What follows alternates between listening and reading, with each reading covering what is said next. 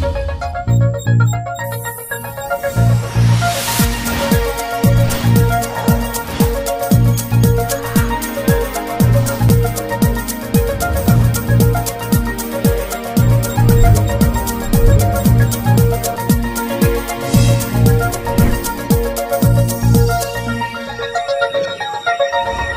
Saludos, bienvenidos un día más a Noticias Canal Sierra de Cádiz. Hacemos repaso de los titulares más importantes de esta jornada. La oposición de la localidad de Arcos se ha reunido esta mañana para mostrar su descontento con la poca transparencia que según ellos muestra el equipo de gobierno actual debido a la no presentación de las cuentas municipales a IREF. Lo que la oposición pretende es solicitar de forma conjunta un pleno extraordinario para que el alcalde dé cuenta de esta situación. La Policía Nacional ha detenido a cuatro personas en Arcos como presuntos autores de un delito de tráfico de drogas y defraudación de fluido eléctrico. Tres de los detenidos, que son miembros de la misma familia de la localidad, junto con una cuarta persona residente de Lebrija, habrían tenido una plantación de cannabis en una nave del Pago de San José. La carrera La Fundacional vuelve un año más dentro de la programación de las jornadas fundacionales de Villamartín, una carrera que vuelve a ser apta para todos los públicos y que tiene un recorrido de 10 kilómetros por las calles del pueblo. Esta mañana la oposición de Arcos de la Frontera se ha reunido para denunciar la situación de poca transparencia que según ellos ofrece el equipo de gobierno. Según la oposición, esta falta de transparencia viene dada debido a que el organismo AIREF, la Autoridad Independiente de la Responsabilidad Fiscal, habría requerido en varias ocasiones información sobre las cuentas municipales al equipo de gobierno, una información que desde la oposición han recalcado que no se ha presentado cuando este equipo de gobierno no presenta las cuentas, no solamente no presenta ya presupuesto, sino que no, presenta las cuentas a un organismo totalmente independiente, con una información que tiene que trasladar de orden fiscal, para que todos los vecinos lo entiendan, las cuentas de este ayuntamiento no lo hace, algo tiene que esconder. Por tanto, venimos a denunciar en el día de hoy y pedimos y exigimos que haya transparencia, pero de verdad, no populista. Por su parte, otro de los representantes de la oposición, como es Erdozain, ha comentado que cuando no hay información y el pueblo desconoce esta situación, la oposición debe unirse para aclarar estos hechos a través de la ley, como es solicitando un pleno extraordinario. Asimismo, Erdozain también ha recalcado la falta de presupuestos por parte del equipo de gobierno. Un presupuesto que dé orden a Arco de la Frontera y al bienestar y eso que dicen algunos que se han inventado ahora el progreso de nuestro pueblo que muchos, todos los que estamos aquí venimos defendiendo de verdad desde hace muchos años. Lo que se pretende con este encuentro es mostrar su unión para solicitar de forma conjunta un pleno extraordinario, ya que el reglamento de organización y funcionamiento municipal dice que deben formar la cuarta parte más uno para que se pueda convocar. El alcalde deberá dar cuenta del incumplimiento del deber de colaboración por parte del ayuntamiento durante este pleno. Otro de los puntos que llevarán será la facilitación de la información requerida por parte de dicho organismo con antelación suficiente para su estudio y por último solicitan un informe de la interventora general de fondos sobre la no remisión de la información requerida por la IREF. Nosotros somos merecedores de, que nos informen eh, especialmente de la documentación que hace falta, de por qué se, ha pedido de forma reiterada y es por lo que estamos aquí eh, junto a los demás grupos municipales. Desde la oposición han destacado que esperan que este pleno extraordinario sea convocado lo antes posible. Tras esta noticia dada por la oposición, el alcalde ha respondido. Con respecto a la petición realizada por la oposición al unísono, yo no tengo ningún inconveniente, todo lo contrario. Creo que es necesario celebrarlo porque, hombre, yo sé que lo que quiere la oposición es eh, desprestigiar la imagen y las funciones de este alcalde con respecto a la economía municipal. Y es todo lo contrario. Eh, yo tengo ciertas competencias o muchas competencias en el ayuntamiento, pero aunque sea el último responsable, tampoco soy el responsable directo de las funciones de algunos técnicos del ayuntamiento. Así ha comenzado sus declaraciones el alcalde de Arcos ante las acusaciones de esta mañana por parte de la oposición. El edil ha recalcado que el requerimiento que se realizó se hizo directamente en intervención y que él tuvo constancia de esta situación por la prensa. Evidentemente le corresponde al servicio de intervención mandar los datos fiscales que le requieren de este tipo de empresas que están en colaboración, que trabajan en colaboración con el Ministerio de Hacienda. Asimismo, el alcalde ha comentado que él nunca ocultaría nada ni a la oposición ni a la ciudadanía. Yo soy una persona que soy transparente y que nunca voy a ocultar nada porque evidentemente no puedo hacerlo ni debo de hacerlo. El alcalde ha asegurado que ese pleno se aprobará y que además él desea que sea lo antes posible. Y soy el primer interesado en aclarar todo y que yo soy responsable de ciertas materias, pero totalmente de todo no soy responsable. Quiero decir que yo funcionalmente puedo eh, tramitar cualquier materia de manera personal, pero hay ciertos trámites económicos y fiscales que a mí no me corresponden.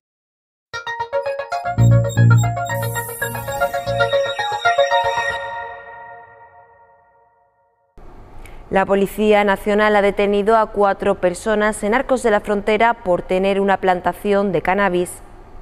Los detenidos han sido cuatro personas, tres miembros de la misma familia y residentes en Arcos y un cuarto residente de Lebrija. Ambos habían instalado en el interior de una nave situada en el Pago de San José una plantación de marihuana que contaba con toda la infraestructura necesaria para favorecer el rápido crecimiento del cultivo y donde se han intervenido un total de 2.323 plantas de marihuana, según cuenta el diario de Cádiz.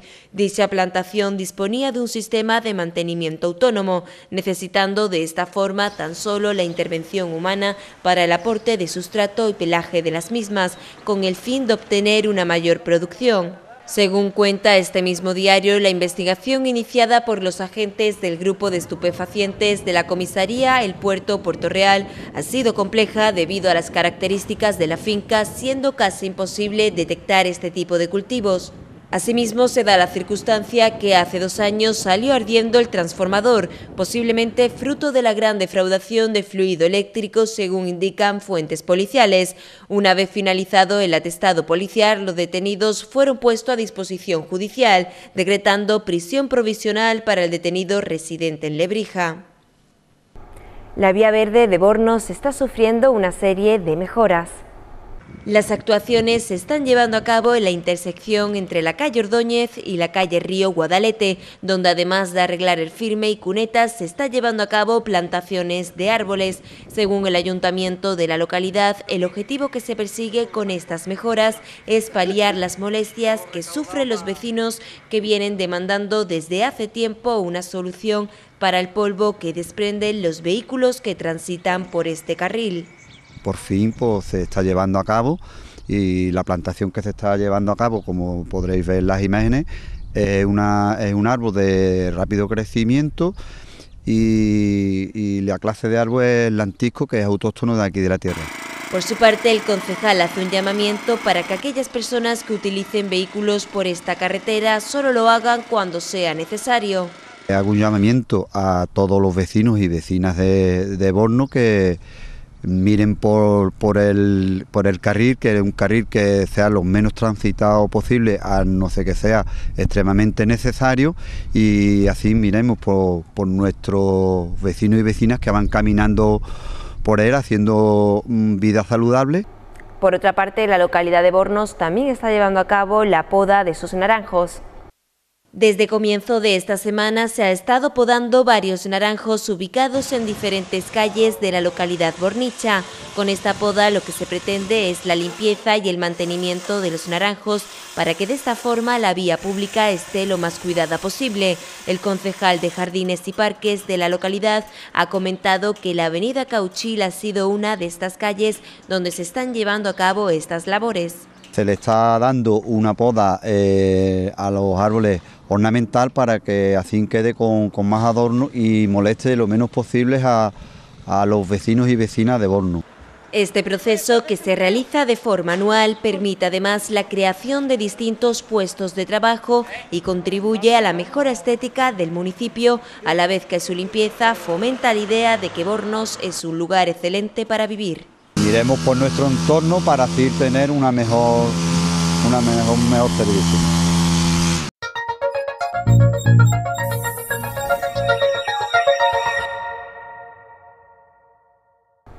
El 9 de febrero tendrá lugar una edición más de la conocida Carrera Fundacional de Villamartín. Con la llegada del mes de febrero, como cada año en Villamartín se llevará a cabo las jornadas fundacionales. Dentro de estas jornadas tendrá lugar la conocida carrera fundacional donde cada año participan personas tanto de dentro como de fuera de la localidad. Esta carrera trata de un recorrido por las calles del pueblo que consta de 10 kilómetros. El concejal de deportes de la localidad ha comentado que esta carrera cuenta con todos los preparativos para ser una gran carrera no solo de Villamartín, Martín ni de la Sierra, sino también de toda la provincia. Tenemos puntos de avituallamiento, tenemos todas mm, premios para todas las categorías, desde los, desde los pañales, que estamos hablando de niños con un añito, entre uno y dos añitos, hasta los veteranos C o B, que son los más adultos. El concejal ha destacado que para todos los participantes habrá un kit dotado con una botellita de aceite de oliva, una pieza de fruta, una botella de agua y una camiseta de recuerdo de esta carrera. Además, todos los participantes tendrán un ticket para la Feria de la Tapa que se celebra en ese mismo fin de semana. Por otra parte, el concejal ha destacado que todas las categorías se dividirán en masculino y femenino. La categoría general tendrá un premio de 150 euros para el primer clasificado, de 100 euros para el segundo y de 50 euros para el tercero. Con respecto a los corredores locales... Los locales, siempre se premia el ser de Villamartín, el participar y estar empadronado aquí, y tienen un jamón, un queso o un salchichón. Asimismo, con respecto al premio de las demás categorías. Como he dicho, desde pañales hasta veteranos, son premiados con medallas los más chiquitines, una medalla de recuerdo para ellos, y que este año hay una pequeña novedad en las medallas, que ya las veréis, y las categorías más, más adultas, que es desde cadete hasta veterano, son premiados con quesos pajaretes, que es un queso de un kilo y medio para el primero, de un kilo para el segundo y de medio kilo para el tercero. Pasamos ahora a ver la información meteorológica.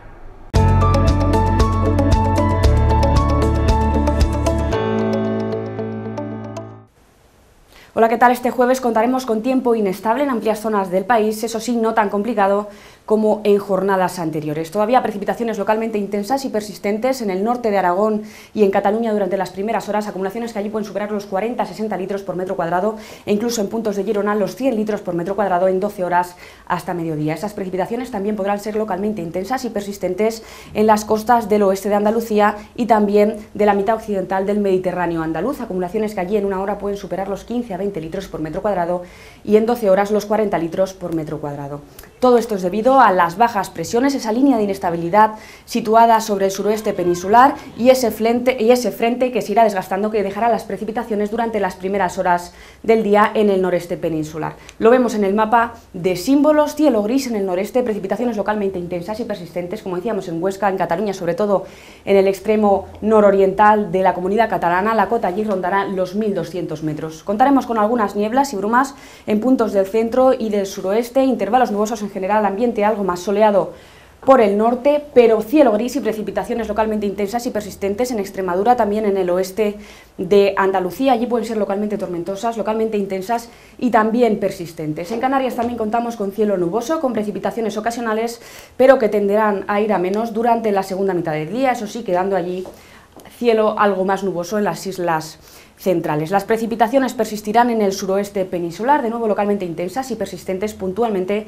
acompañadas de tormenta, pero ya remitirán en el noreste peninsular. Allí también irá a menos el oleaje que a primeras horas puede tener una altura que puede superar los 3 a 4 metros. En cuanto a las temperaturas, las mínimas van a bajar en puntos del centro, contaremos con heladas en puntos de la meseta central, 2 bajo cero en Salamanca, también en Palencia, 4 bajo cero a primera hora en Teruel y 3 bajo cero en Cuenca. En cuanto a las temperaturas, subirán en puntos del Cantábrico y Alto Ebro hasta los 14 grados, alcanzaremos en Bilbao, 13 en Oviedo, valores entre los 10 y los 13 grados también en amplias zonas del centro y hasta los 17 grados alcanzaremos en Almería. Nosotros lo dejamos aquí, pero si desean más información pueden consultarla en nuestra página web.